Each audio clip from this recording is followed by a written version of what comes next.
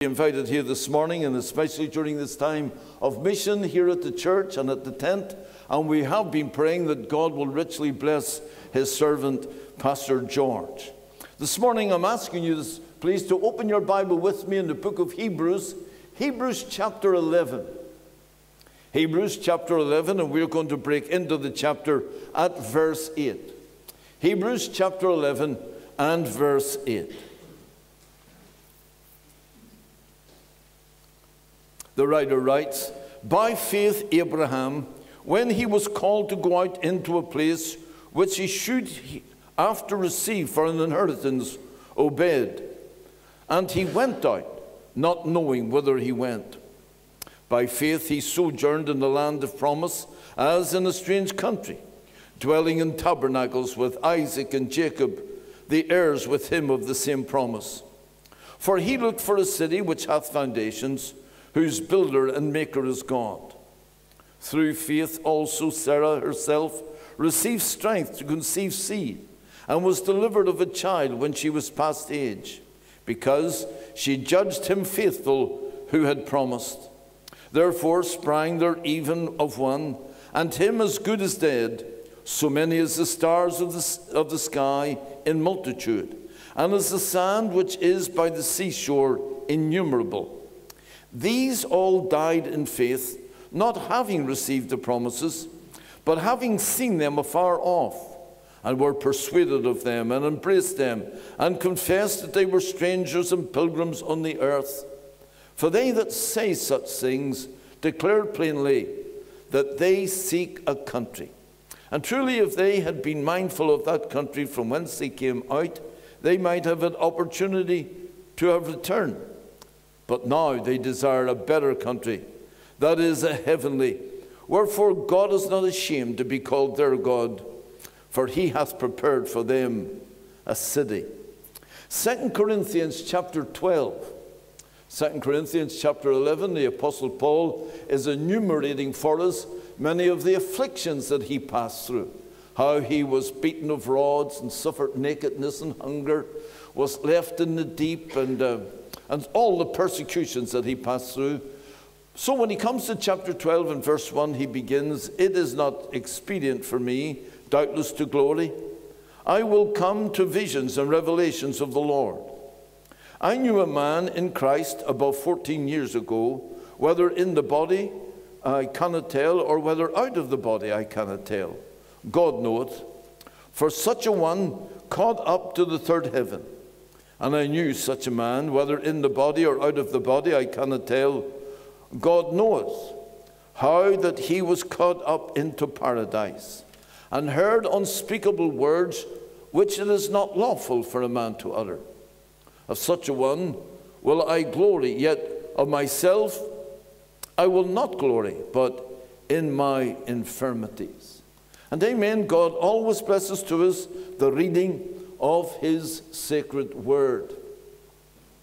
Before I left Banbridge Baptist Church, where I was there as 11 years as pastor, I was invited one day to the high school. We had a very good relationship with the high school, and I was there quite frequently. But on this occasion, they were marking the 50th anniversary of the high school in Banbridge. And for that 50th anniversary, while there was a little ceremony, they were planting a tree and I had to do the religious part of reading and praying. And then at the end of the ceremony, there was a man there who had a large casket, and he opened the casket, and out flew 50 doves, 50 doves to mark the 50 years of the high school in Banbridge. These doves, they flew around the school twice, and, and then they flew off. I was so taken with them, I spoke to the man who was closing up his casket, and I I asked him, What about the doves? Where did you get? He said, Well, they're not really doves. They're homing pigeons, white homing pigeons. He says, I live in Dromore, and they'll be in Dromore before I'm in Dromore. I said, Are you kept busy with them? Busy? He said, Just last Saturday, I had seven different engagements with my pigeons. He says, We do births and funerals, we do uh, christenings and special occasions. He says, We're ever so. I thought to myself, that would be a good one for, for retirement. I mean, the birds do all the flying. He's just there to pick up the money and they do the work. I mentioned that to you this morning because when he spoke of homing pigeons, it reminds me, my friend, that if you're a Christian this morning, you've received a heavenly dove within your heart. The Bible tells us that when Noah uh, opened the ark and he let go the dove, the dove returned because it couldn't find a place that was dry for its food. The second time he released the dove, the dove didn't return. Why? Because the ark had landed, the earth was, was dry, and therefore the, the dove didn't return. That is until the day when our blessed Lord Jesus was baptized. And the Bible tells us that on that occasion, as Jesus went down into the Jordan, while the heavens opened, and the voice of the Father was heard, saying, This is my beloved Son, in whom I am well pleased. And the Bible says that the Holy Spirit descended from heaven as a dove coming into the life and heart of our blessed Lord Jesus Christ. I say this morning that if you're a Christian, you've got the heavenly dove within your heart. And that's that heavenly dove that I say to you gives to us that sense of home. The Bible reminds us this morning, you're speaking of a tent out at Cranfield. Why, the Bible reminds us that if this earthly tent be dissolved, we have a house, we have a home eternal in the heavens. We used to sing the hymn, This world is not my home, I'm just a passing through. My treasures are laid up somewhere beyond the blue. It's on heaven's shore. That is our heavenly home. And I say to you this morning, my friend, if you're a Christian, thank God that heavenly dove within our heart gives to us that homing sense. That is why the Apostle Paul said those words that I have a desire to depart and to be with Christ. Why? Because he had a longing to go home. He was heaven bound. We were reading of Abraham here this morning. We read of Abraham, although he was a rich man, he never built any houses here on earth. All he built were tents. And why? Because here on earth he was a sojourner, he was just passing through. As a matter of fact, the Bible says of him that he on earth was a pilgrim and a stranger. Here he had no continuing city, he dwelt in tabernacles, tents were his home. When he died, he didn't leave a, a building behind, he left a, a, he left a tent to his son. And why? Because the Bible says he was looking for a city. He was looking for the city whose builder and maker was God. The Bible tells us of the heirs of Abraham that if they desired a country, they might have returned to the country from which they came, but now they were looking for a better country. My friend, can I say that country is heaven? That home is heaven itself. The Bible tells me, my friend, that if you're a Christian, you are nearer to heaven than you've ever been in your life before. The Apostle Paul, writing to the Philippians, said that for me to live is Christ and to die is gain. It is to be at home with the Lord. It is true, as the Bible tells us in the book of Ecclesiastes, chapter 3, that God has made all things beautiful in His time, and He has put eternity in our hearts. Isn't that an amazing thing this morning? That here our life on earth is but a temporary thing. We are passing through, just as Abraham was passing through. We are sojourners.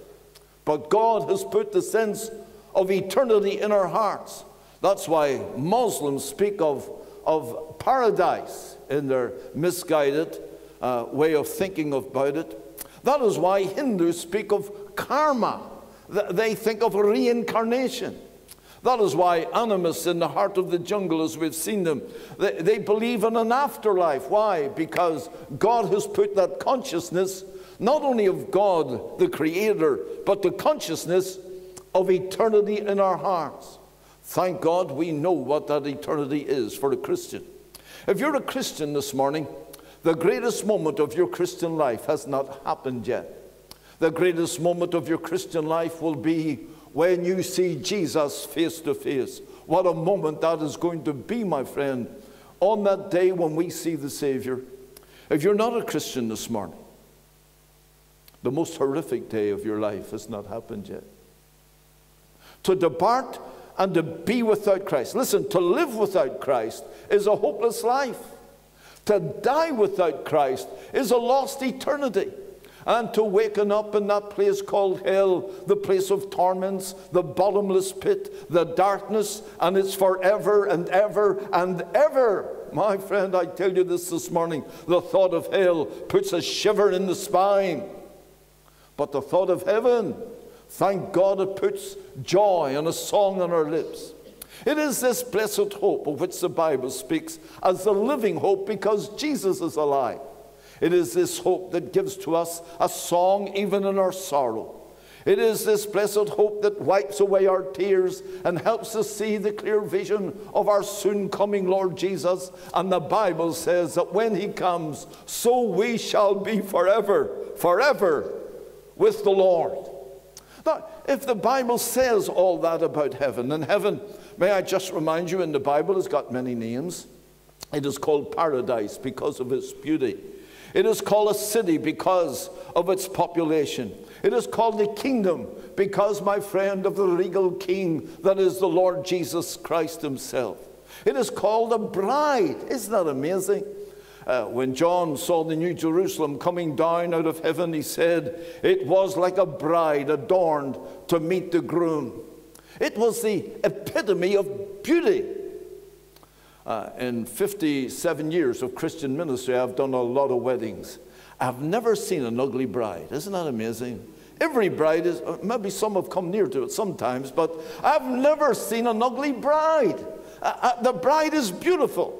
And so, for John to describe the epitome of beauty, when he saw heaven, he said, It's like a bride adorned to meet the groom. Oh, what a beauty heaven is! A city. It's called the Beulah land, my friend, but best of all, can I say to you, it is called the Father's house and our heavenly home. If that's the case this morning, just for these few moments, I'd like us to, to think of heaven.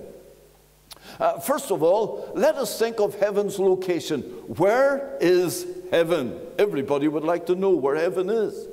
The Bible tells me, my friend, that the Apostle Paul here, he said he was caught up onto the third heaven. When we look outside and we look up into the sky, sometimes we see it gray and sometimes we see it blue. We are looking at the atmospheric heaven. It is a reflection of light on the atmosphere that encircles our planet. It is the atmospheric heaven. However, when you go out at night and go into those moors and look up where light has not polluted the darkness, then you can see the stellar heavens. You can see the planets and the stars. And my friend, it reminds us of how great our God is, the immensity of this universe. But the Bible tells us that while the first heaven may be the atmospheric heaven and the second heaven may be the stellar heaven, thank God the third heaven is God's home. It is the paradise of God. That's what the Apostle Paul says. He was caught up into heaven, into paradise itself. When we speak of the atmospheric heaven, we know that the atmospheric heaven, why we use it today for travel, you can travel by aeroplane in the atmospheric heaven. When we speak of the stellar heaven that we see at night time, now they've invented rockets that are able to not only encircle our planet but explore out into the universe. But can I say that to get to the third heaven, it is only through Christ? Jesus said, I am the way, the truth, and the life. No man comes unto the Father by me. There is no invention of man, my friend, that will ever get you to the third heaven. There is nothing that you can conjecture with in your life that will open up the way from heaven. Jesus said, He is not only the way, but He is the only way to heaven. We're living in a day of syncretism when many people want to blend all of the religions. They'll take Hinduism and Islam and Christianity of a form, and they will try to blend it all together and say that we have got many different labels, but all the ways lead to heaven.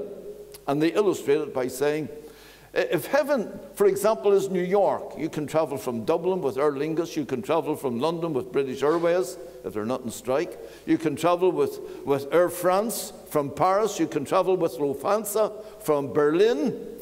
But while you go on all different labels, all labels will take you to New York, and therefore that's just like heaven.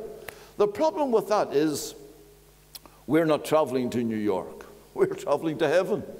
And Jesus said, It is the Father's house. And Jesus said, There is no other way but through him. Therefore, he said, Ye believe in God, believe also in me. He gave to us a simple faith, He gave to us a secure future, and the sure foundation is Jesus Christ Himself. Where is heaven? Heaven, my friend, is the third heaven. Uh, by day, we can see the, the beauty of the atmospheric heaven. We love to see the blue skies. At night time, we can look up and see the beauty of the stellar heaven, the universe all around us. But the third heaven, you cannot see it with the naked eye, but thank God you can see it by faith. The Bible tells us here that Abraham, he looked for a city. He could see the city. The Bible tells us here of these heavenly pilgrims that they uh, had seen the, the promise afar off. They were looking. May I just remind you that's exactly how we are to run our race. The Bible tells us, my friend, that we are to run this race looking unto Jesus, the author and finisher of our faith.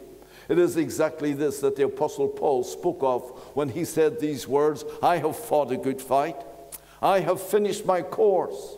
Henceforth there is laid up for me a crown of righteousness which the Lord, the righteous judge, shall give me on that day, and not to me only, but to all those who love his appearing. Christian, this morning, are you looking for the coming Christ, the location of heaven? Now, uh, the Bible tells us of the location of heaven. For example, it says of, of the Lord Jesus that he was taken up into heaven. The angel said to the disciples, Ye men of Galilee, why stand ye here gazing all the day up into heaven? This same Jesus whom you see, whom you have seen ascend up into heaven, will so come in like manner as you've seen him go. That is, Jesus went up. The Bible tells us of Stephen when he was being stoned. His face shone like an angel, and from that dungeon, that hole in the ground, he looked up and he saw Jesus standing on the right hand of the Father. But the emphasis was up. But now the intelligent people here amongst us will say, well, that is fine for us, but what about the people in Australia? I mean, when they look up, they're looking down. Is that not the case? My friend, can I say this morning, there are some commentators, incidentally, who who will go to Psalm 75. And Psalm 75 reminds us, and especially in this election week, that promotion doesn't come from the east or from the west or from the south, but promotion comes from God. The fact that in those dimensions it doesn't mention the north, some commentators tend to think that heaven is to the north. My friend, can I say, heaven is where Jesus is. Uh, heaven, my friend, it encompasses our universe. It is where Jesus is. That is the third heaven, the location of heaven. However, the Bible not only tells us something of the location of heaven, the Bible tells us a lot about the population of heaven. You remember our Lord Jesus? The Bible tells us that he came from the Father and he returns to the Father. The Lord Jesus, when he spoke of heaven, he spoke of it as the Father's house. Remember the prayer that he taught us Our Father, which art in heaven. It is the home of the Father, it is the place where Jesus is. The Bible tells us that it was from heaven that God sent forth His Holy Spirit. As a matter of fact, we quoted already this morning the Holy Spirit descended out of heaven as a heavenly dove. It is His heavenly home. Therefore, heaven is the home of the divine Trinity. Heaven also is the home of holy angels. There were disobedient angels over there in, in uh, Isaiah chapter 14, Lucifer, who said he would exalt himself above God and, and take the place of God, but God cast him down into the depths. Uh, that is Lucifer and those disobedient angels. But I just remind you that there are myriads, millions of God's angels. Psalm 103 tells us that the angels of God are as a burning light, ministering unto him day and night. And my friend, while we cannot see around us, let's remember this that while the prince of this world is busy, that is the devil, thank God God's angels are doing their work. It is said of Mr. Spurgeon one day that crossing a road in London, he tripped and fell, and just within a carriage almost ran over his head, but stopped, miraculously stopped in time. And someone said to him in the vernacular of the day, Mr. Mr. Spurgeon, you were lucky. He said, No, God's angels do their work well. Aren't you glad that Psalm 91 reminds us that the angel of the Lord encampeth round about them that fear him? Why? He has given his angels charge over you to keep you in all of your ways. God's holy angels are serving him, it is their heavenly home. The Bible tells us that heaven is the home of just men made perfect. We've been reading of Abraham and of Isaac and of Jacob. Just as we look back to Calvary, they were looking forward to Calvary.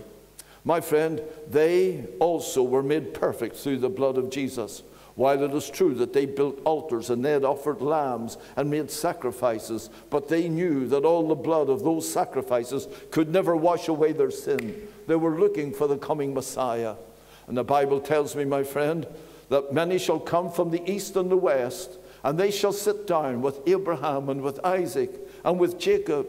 The Bible tells me in Matthew chapter 17 that Moses and Elijah, they came from heaven to meet with Jesus. Why, heaven is the home of those Old Testament patriarchs and prophets, the spirits of just men made perfect. But can I say that heaven is the home of the redeemed?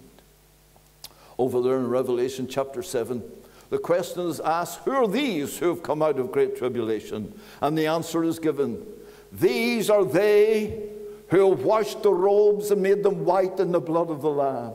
My friend, if you're a Christian this morning, can I say that you're a Christian because of the blood of Jesus Christ? You're a Christian because Christ died for our sins, and you are one who has washed the robes and made them white in the blood of the Lamb. And thank God this morning. Listen to what the Bible says. We are accepted in the beloved, in whom we have redemption through his blood and the forgiveness of our sin. The Bible tells us in 1 Peter chapter 1 that he has begotten us again unto a lively hope. How? By the resurrection of Jesus Christ from the dead. Those who are kept by the power of God unto salvation, to an inheritance incorruptible, undefiled, that fades not away. Listen to it, reserved in heaven for you. You're a Christian this morning. Thank God you're bound for glory. We're heaven bound. That's why we've this sense of heaven in our hearts. Therefore, heaven, I say to you this morning, is the home of the Trinity, the home of angels, the home of just men made perfect, the home of the redeemed. And one day, my friend, we're going to blend our voices with those of whom the Bible says in Revelation chapter 5 10,000 times 10,000. They will see not only the lion of the tribe of Judah, but they will see the Lamb of God. And they will blend their voices and sing, Worthy, worthy is the Lamb. Of course, when we speak of the population of heaven, a lot of people have questions about it. Will I recognize anyone in heaven? Well, of course you will. Um, I mean, if the Bible says they shall come from the east and the west and sit down with Abraham and with Isaac and Jacob, how will they know Abraham if they've never met him before? He will be recognized in heaven. My friend, can I say it is in heaven that we will know each other? This Bible tells me that in heaven we will know as we are known. You will know each other better than you've ever known them before. Now, when it comes to heaven relationships, I cannot answer that question. The Bible doesn't tell us everything about heaven, but it does tell us everything we need to know about heaven. And that tells me, my friend, that we will know each other in heaven. I've said to Audrey, I'll meet her outside the eastern gate. I don't know who will arrive first, but I'll meet her inside the eastern gate, I should say. We will know each other in heaven. Uh, but the other question is, how will I appear in heaven? Well, a baby who dies and goes to heaven, will, will this baby appear as a baby in heaven? Or, or the old person who dies with all the wrinkles, will they appear wrinkled in heaven? No, my friend. The Bible tells us that they shall have a new body, a glorified body. This body, my friend, will be eternal. Think of that this morning. It means that in heaven they'll never need hospitals or cemeteries. We'll never need policemen. There will be policemen in heaven, but they'll not be doing their police work. There will be doctors and nurses in heaven, but they'll never work in a hospital. There will be undertakers in heaven, but they'll never dig any graves. Why? Because no sickness, no death, nothing that defileth ever enters into heaven. What a population that's going to be. Uh, how will we appear in heaven? Well, when when God made Adam and Eve in the garden, He didn't make two little babies, He made two full grown people. Therefore, if God did that in the Garden of Eden, what is it going to be in the Eden above? My friend, He'll give to us glorified bodies. When I lived in Brazil on a Sunday afternoon, we would, we would uh, go out to the leprosarium, a place called Aleixo. And there we would meet with these people in deformed limbs. Sometimes they had no hands, and other times they had no feet. And old Alberto, his face was scarred and his, his sight was gone. And for 49 years, he sat there on a bed in the leprosarium. What a terrible state. But when we met with them and, and we sang with them, when we read the scriptures, why would touch your heart this morning? At the end of it, they'd sing, Maranatha, Maranatha, Maranatha, Maranatha, Maranatha, ora vem, Senhor Jesus. They're singing, Maranatha, come, Lord Jesus. Why? Because they know that this vile, weak body one day is going to be transformed to be like unto the glorious body and a brand new body that will be. Oh, the population of heaven. Let me ask you, are you bound there this morning? The location of heaven, the population of heaven. What about the occupation of heaven? What will we do in heaven?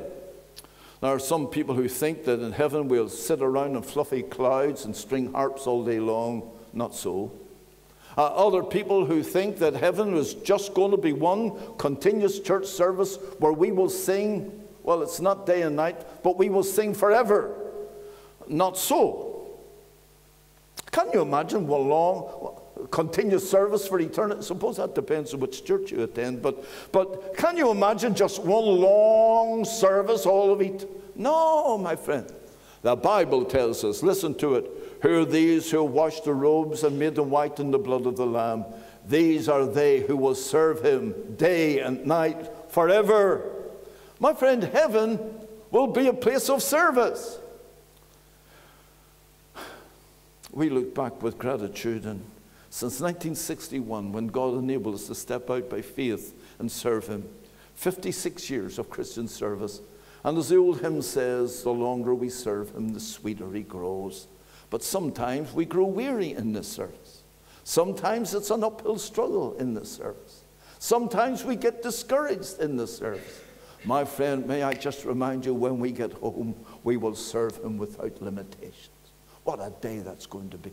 And I don't know what your service will be there, but I'll say this to you we should be serving Him here. You see, heaven is not only a destination, heaven is a motivation.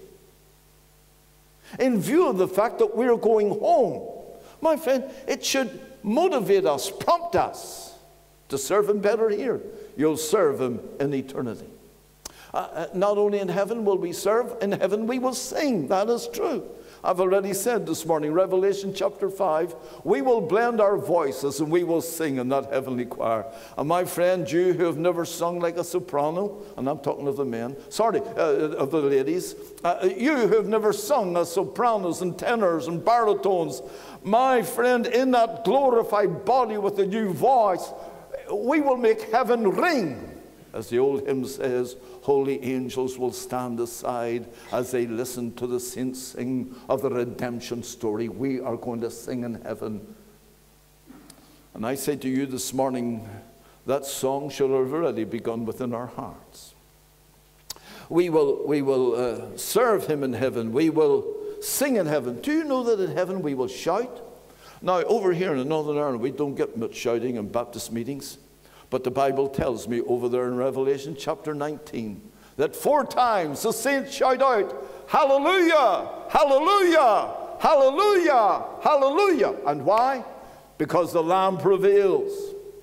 Revelation chapter 19 and verse 16.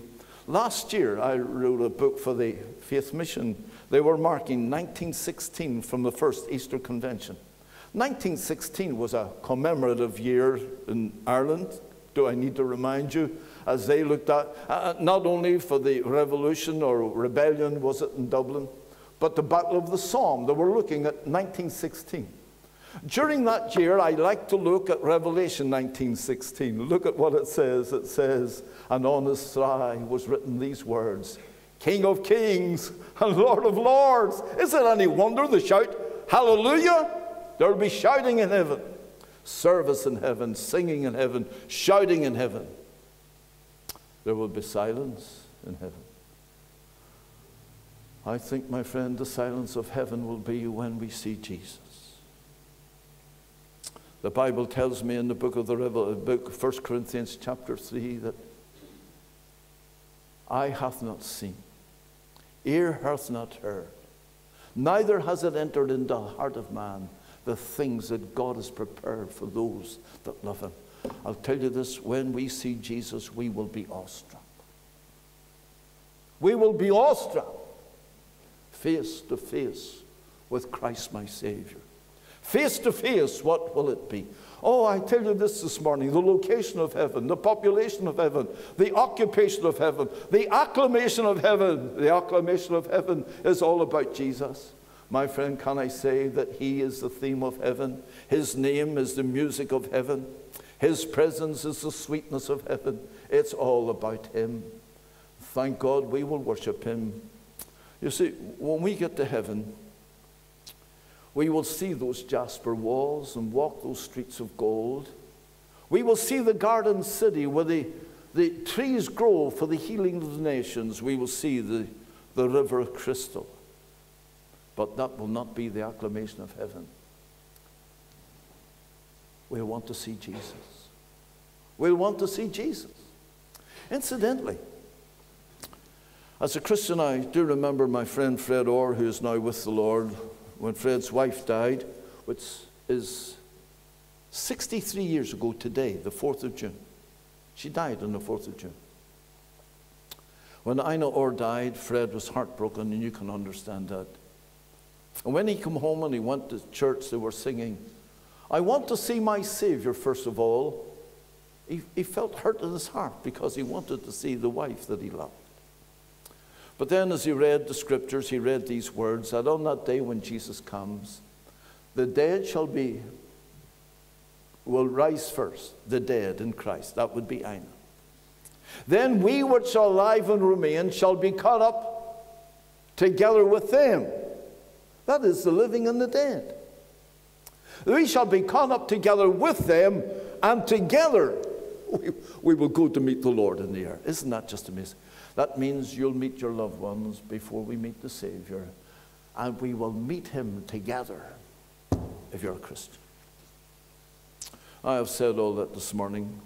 The, popula- the uh, location of heaven, the population of heaven, the occupation of heaven, the acclamation of heaven.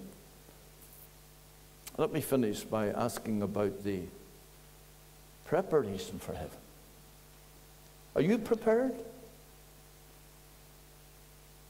The book of Amos, chapter 4 and verse 12 says, Prepare to meet thy God. Uh, I remember doing a mission in the Ards Peninsula many years ago, and a girl trusted Christ as Savior, but she was on the Kegworth flight, and many of you will remember that Kegworth flight that came down, and 30 something people lost their lives. As the plane was landing, going to Christland, the pilot gave the word out prepare for an emergency. For those people, the word was prepare for eternity. Are you prepared? If I was to offer you the choice of any one of four gifts, a new Ferrari, that sounds good. A check for a hundred thousand pounds, that's good. Or uh, better still, a brand new house. That sounds good. The fourth one would be a parachute. Incidentally, I forgot to tell you, we're in an aeroplane that's falling to the ground. Would you take the Ferrari? Would you take the check? Would you take the brand new house? Or from the plane, would you take the parachute? My friend, I tell you this this morning the most important thing in life is to prepare for eternity. President Eisenhower, when he was in the White House, sent for Billy Graham one day. And to Billy Graham, he asked, Dr. Graham, can you tell me about heaven? What is it Jesus said about heaven? And so he quoted to him John chapter 14, in my Father's house are many mansions. He went on to elaborate about heaven and perhaps cover some of the things we've covered here today. And at the end of it, President Eisenhower shook his hand and said, Thank you, Dr. Green. But years later, when Eisenhower was dying in the John Hopkins Hospital in Washington, he sent again for Dr. Green. Dr. Green came to the hospital room, and where he was, in that hospital room, President Eisenhower said, You remember, Dr. Green, you came to the White House. And you told me about heaven. Can you tell me about it again? And so he told him about the promise of Jesus and about the place that is prepared. And when they'd finished talking about heaven, President Eisenhower stretched forth his feeble hand and shook the hand of Billy Graham and said, Dr. Graham, I'm prepared. Are you? Come to Christ today. Heavenly Father, we thank you for the Word of God. Reminds us of this blessed living hope that is ours, that because Jesus lives, he said that where I am, there ye will be also. Bless this word to every heart this morning, we pray, and give to each one of us to know that blessed assurance that Jesus is ours. So, our Father, we commend ourselves to Thee now and to Thy grace, and pray that the Lord Jesus may be uplifted and glorified in us. In His name we pray. Amen.